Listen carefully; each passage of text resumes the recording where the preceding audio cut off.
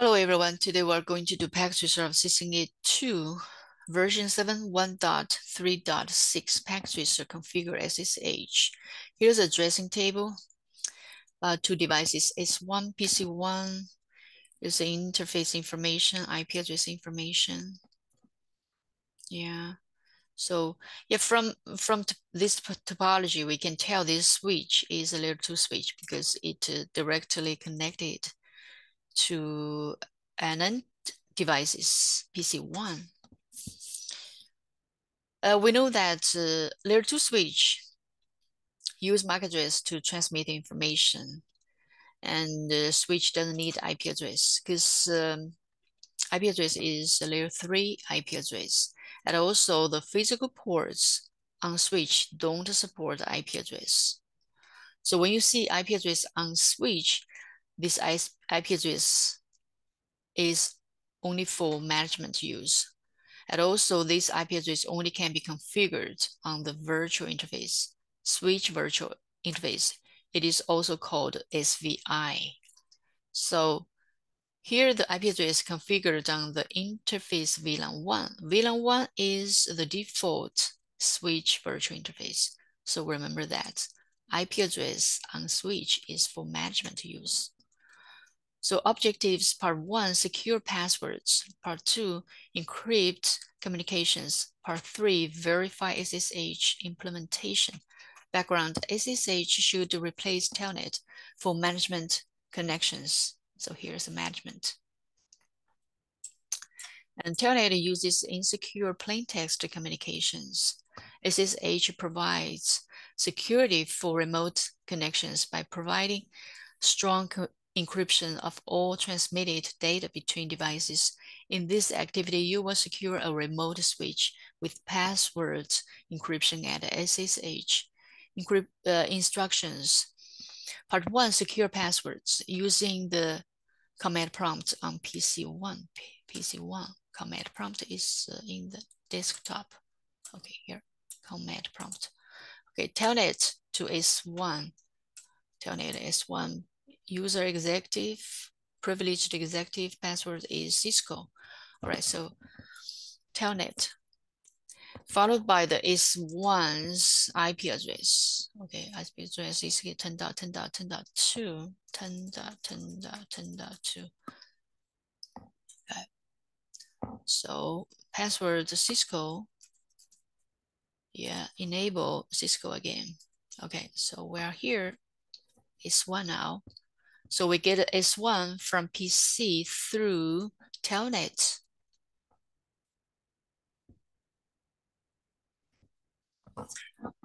So next, uh, save the current configuration so that uh, any mistakes you might make can be reversed by toggling the power for S1. So we save the configuration is uh, copy, copy is save, copy running configuration to startup configuration. I use the short version of the command.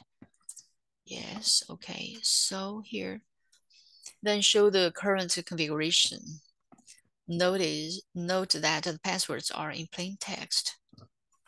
So here I use show run, show running configuration. So let's look at the passwords. So here enable password Cisco. This is the plain text. This is for the executive mode access. The password is for. Here's the line, the line VTY password Cisco, line VTY 515 Cisco. All these passwords are plain text. So next we need to encrypt all these plain text passwords. We use, we need, first we need to go to configuration mode is configure terminal and uh, use the command service password encryption to encrypt all these plain text passwords. So service password dash encryption. Okay, so we saved, oh, we, we uh, encrypt. So now we verify exit so verify show run again. to run again. Let's look at the password again. Here, enable password. Now, from Cisco, the plain text change to this number or this number doesn't make any sense. So that means this password is encrypted. And how about the VTY lines password? Yeah, all this changed. Changed, not Cisco anymore, it is this number. Okay, so that means all these passwords are encrypted. Next, part two, encrypt communications. Step one, set IP domain name and generate secure keys. It is generally not safe. It is generally not safe to use telnet because data is transmitted in plain text. Therefore, use SSH whenever it is available. Configure the domain name to be netacad.pka. So let's go to configure terminal. Um, IP domain name. Okay, netacad.pka. Next is secure keys are needed to encrypt data generated RSA keys using the 1024 key length. So we use we use um, command crypto key gen generate crypto key generate RSA and uh, so how many bits in the modulus is 1024 key length? 1024 we type 1024 all right so now we finish this part. Step one. Step two create SSH user and uh, reconfigure the VTY lines for SSH only access. A create administrator user with Cisco as the secret password. Secret password is encrypted password. So here is for the authentication. Um, so username But username is administrator. Administrator, okay. Administrator, okay. And the secret, Cisco, okay. And uh, configure VTY lines to check the local username database for local credentials. So let's go to the line configuration mode. So line VTY 015.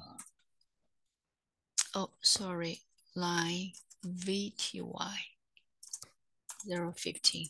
Okay, so here's a check local username database for login. Check local username database for login. So we we use command login local. Okay, next is only allow SSH for remote access. Only allow SSH for remote access. We use um, command transport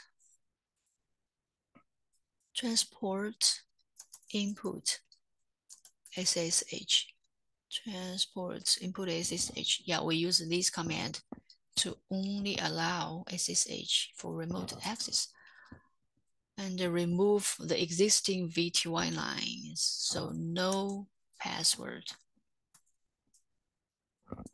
All right, so we finished this configuration. Look at completion is 100%. That means we perfectly finished this configuration. Next, we need to verify SSH implementation. So, so far we are still in the telnet session. So we need to exit telnet session. So we use exit, exit again, exit again. So from switch one back to the PC one now. So let's try to use telnet again to see how it works. It should fail. Okay, telnet, I use up arrow. You see here is a closed by foreign host. That means we only can use SSH to remotely access S1. We cannot use um, Telnet anymore. So, so uh-huh. now we try to uh-huh. use SSH, SSH, enter. They ask us to use uh-huh. enter. See, so they give us hint. So SSH dash L. Here's the dash L, not one. L means local. Okay, username, target. So SSH dash space dash L means local dash oh space username. Here the username we just configured is administrator. Administrator. And followed by the S1's IP address 10 dot 10 dot 10 dot 2. Okay, password Cisco. Okay, yeah, we get on the uh, switch one now. S1. Enable. Okay, Cisco again. Okay, yeah, so we get on. We successfully get on. S1. So now we perfectly finish this packet tracer. So configure SSH.